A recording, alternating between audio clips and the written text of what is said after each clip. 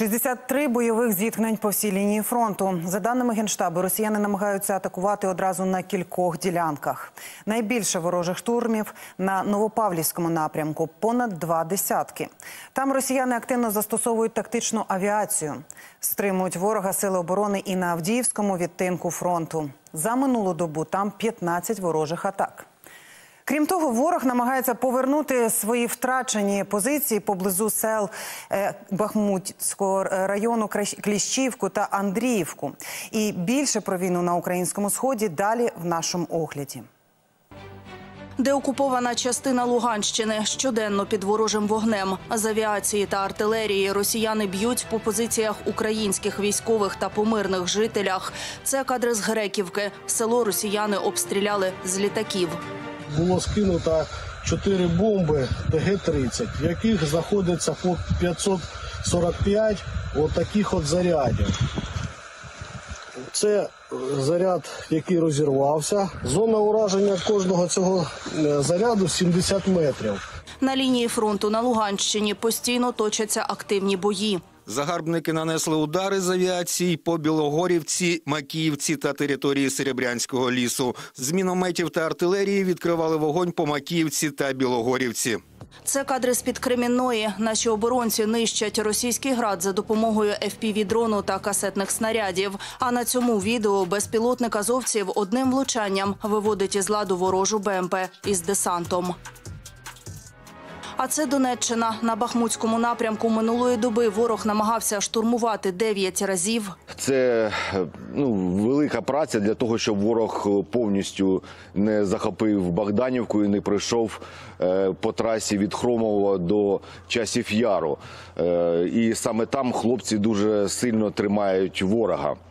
Саме цікаве у нас е, селище Іванівське. Е, ворог там. На цьому тижні таку зробив атаку. Він пройшов е, з південної сторони. Буквально він два дні так штурмував це все. І ну на днях, буквально вчора, е, наші війська відбили повністю їх атаку і повернули усі території, які вони захопили. Це відео вдалої роботи 28-ї окремої механізованої бригади на околицях Курдюмівки. Дрон скидає боєприпас на піхоту ворога, а FPV вражає квадроцикл противника. Кадри 47-ї окремої механізованої бригади з Авдіївського напрямку. На них ефектне знищення двох ворожих БМП. А на цьому відео третьої штурмової коригування удару Хаймарс по позиціях ворога поблизу Орлівки. На Авдіївському напрямку нашими захисниками відбито 15 атак ворога в районах населених пунктів Бердичі, Орлівка, Тоненьке, Первомайське та Невельське. На Новопавлівському напрямку сили оборони продовжують стримувати ворога в районах Побєди, Красногорівки та Новомихайлівки Донецької області, де ворог за підтримки авіації 22 рази намагався прорвати оборону наших військ.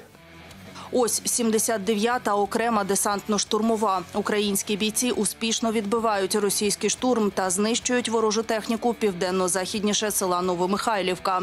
Та Росія воює і проти цивільних. Це свіжі кадри з Костянтинівки. Днями противник ударив по місту керованою авіабомбою КАП-500. Бухнуло і все.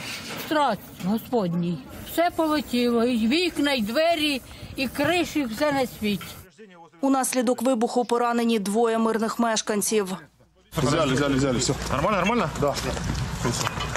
А це жахлива буденність Мирнограда. Напередодні окупанти скинули керовану авіабомбу на місцеве підприємство та дві ракети С-300 на житловий сектор.